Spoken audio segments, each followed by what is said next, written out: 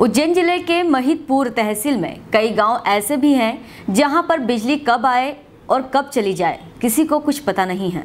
और शाम ढलते ही ग्रामीण बिजली आने का इंतज़ार करते हैं ताकि समय पर बिजली आए और रोटी बना सके। घर के काम बच्चे कर सके पढ़ाई कर सके।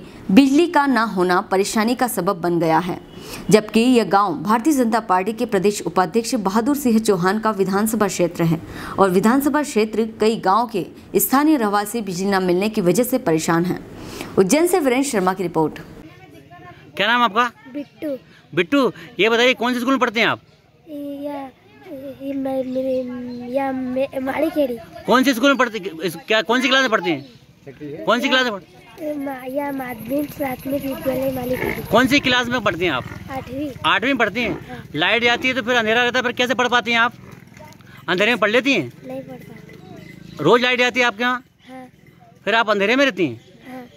पढ़ाई कर लेती हैं? पढ़ाई कर लेती हैं नहीं कर पाती हैं? अंधेरे में सब बच्चे परेशान हो रहे हैं? सांस ये जो मोहल्ला है ये कौन सा मोहल्ला है? ये तो बिलाक है मिलानिया गाँव में। अच्छा तो लाइट रोज जाती है यहाँ पर? हाँ रोज जाए।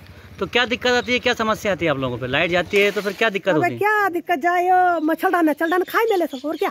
अच्छा। ये. कब बस तक गोड़ा में चल बुखार आई कब तक बंद रहती लाइट? कितने समय तक थी अबे कहीं आधो घंटों भी वही जाए। अच्छा। हो घंटो भी वही जाए कोई नियम है अच्छा सारे लोग परेशान होते हैं? वहाँ को जाती परेशान? सब परेशान है वहाँ। अब लेन जाए तो सब लोग बेड़ो परेशान हो तो। हाँ कोई तो आधी आधी रात तक नहीं आवे। नाम है? हैं? मेलानिया ये अ, आप घर के बाहर अंधेरे में क्यों बैठी हुई हैं? लाइट नहीं क्या? लाइट। नहीं है? ये घर में अंधेरा कब से है? घर में अंधेरा कब से है? आपके यहाँ अंधेरा कब से है? कब से लाइट गई हुई है? अच्छा तो एक मोहल्ला कौन सा है? ये मोहल्ला कौन सा है?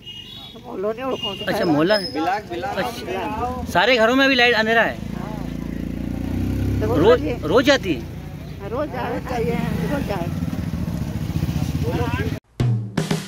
हेलो फ्रेंड्स आप देख रहे हैं हमारा channel S W twenty four news हमारे सारे वीडियो सबसे पहले देखने के लिए आप हमारे चैनल को सब्सक्राइब करें और पास में लगे बेल आइकन को दबाना बिल्कुल भी ना भूलें।